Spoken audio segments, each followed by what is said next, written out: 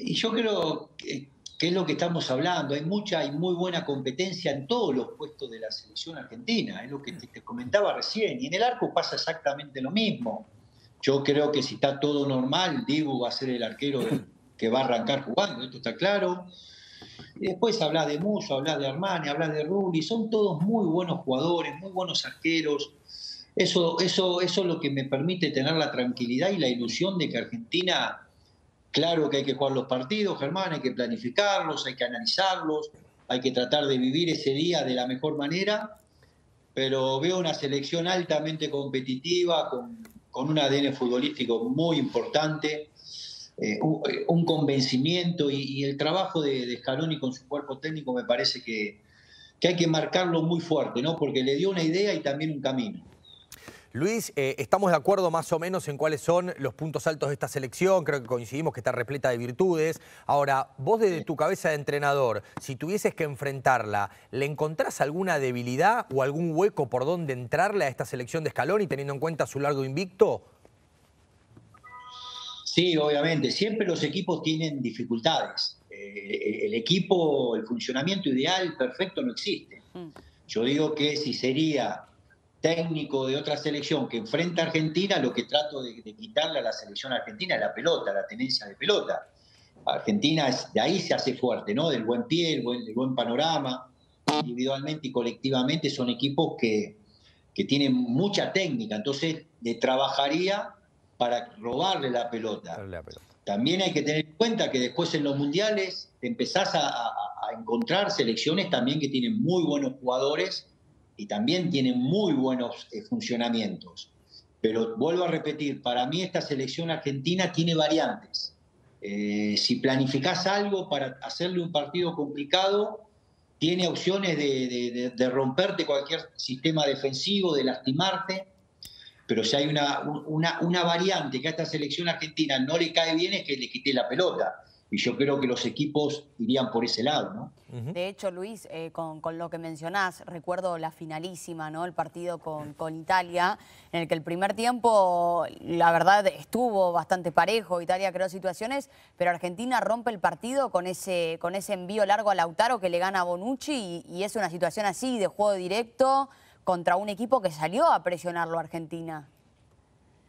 Sí, totalmente. Yo, yo no tengo dudas, y está muy bueno el análisis que hace, yo no tengo dudas que Argentina para hacer un partido complejo lo tenés que presionar mucho, le tenés que achicar los espacios, le tenés que hacer hacer un partido incómodo, hacerlo jugar a los volantes permanentemente de espalda, no perfilados, porque cuando se perfila los Chelsea, Paredes o el que se, se perfilan y te atacan y te lastiman. Ni hablar si la agarra Messi, la agarran esa clase de jugadores. Pero también tiene esto la selección, que en un partido complejo, como el que estás nombrando, después desde lo individual, cualquiera, y ni hablar que Messi, te lo puede romper. Por eso me, atrevo a decir que en el análisis profundo es una selección que a mí personalmente me da mucha tranquilidad, me gusta, eh, estoy convencido que futbolísticamente puede hacer las cosas muy, pero muy bien. Eh, ¿Crees? No, ah, no, perdón, dale, dale, perdón. Eh, no, y crees, Luis, con, respecto a esto que decís, eh, hoy, hoy leía, ¿no? Y me pareció una buena frase, que Scaloni hizo, hizo o armó un equipo que, se reencuentra con, las raíces o con la esencia del, fútbol argentino. y un poco él, él lo menciona, ¿no? Cada vez que tiene una oportunidad en conferencia de prensa. ¿Crees que, que un poco va por ese lado, por la elección de los jugadores? Sí, sí, yo creo que ha, sido muy inteligente el trabajo de Scaloni con su cuerpo técnico, ¿eh? porque yo creo que es todo, un trabajo en conjunto de, antes nombraban a Pablito Aymar, decir, gente muy, muy capacitada, con, una idea muy, muy clara. Generalmente en todas las elecciones, todas las elecciones estamos comprometidas, cuando te toca eh, ser parte de una selección te comprometes 100%. Yo lo que veo en esta selección es que un, ADN futbolístico muy claro y muy contundente, pero veo una selección feliz.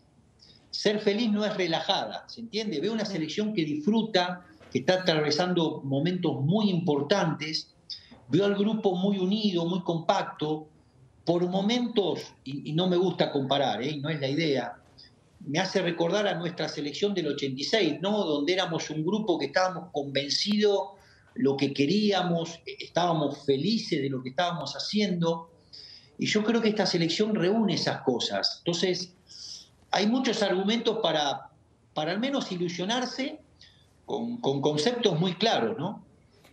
Eh, Luis, como técnico, ¿te hubiese gustado, si te pones en la piel de técnico, claro está, que estos últimos dos amistosos no fuesen Honduras y Jamaica? ¿Crees que Argentina necesita, no por mostrarle a la gente, sino a sí mismos con eh, haber tenido estos partidos con selecciones europeas, más allá que es imposible por la Nations League, está claro? ¿O no te hubiese movido la aguja? No, a ver, eh, ayer fue un partido muy intenso, muy duro, sobre todo desde lo físico, ¿no? Jamaica es una, selección que tiene roce internacional, jugadores que juegan mucho en Europa.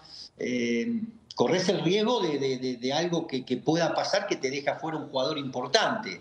Eh, yo digo que estos partidos están bien analizados en estos, en estos momentos. Ahora, me hubiese gustado, obviamente que no se ha podido, quizás uno de los partidos enfrentarte a una selección, llamale Alemania, llamale Francia, que sea, sabemos que, que, era imposible, ¿no? Pero porque ahí vos ya vas empezando a, ver cómo estás a dos meses del Mundial, con selecciones que también sabés que van a ser protagonistas. Pero volvemos a lo mismo, me parece que hay mucho, mucho buen talento, buenas cosas para ilusionarnos con la selección argentina. Eh, Luis, ahora te va a hacer el cuestionario Marta, este, y seguramente va a haber alguna pregunta que tiene que ver con el Mundial, candidatos y demás, pero eh, ¿en cuánto influye en, el jugador este invicto, este invicto largo de 35 partidos? ¿Te genera, te envalentona, te genera una sensación de bien entendida, de superioridad, de, comodidad, o es una carga? Bueno, eh, él porque particularmente el grupo de Basile lo tuvo hasta el partido de Colombia, ¿no? El 5-0, el de visitante, ¿no? Exacto. que quizás hasta los lo descomprimió para el Mundial. Sí, sí, a ver, claro que es lindo y ojalá que siga 100 partidos esta, racha, ¿no? Esto está claro.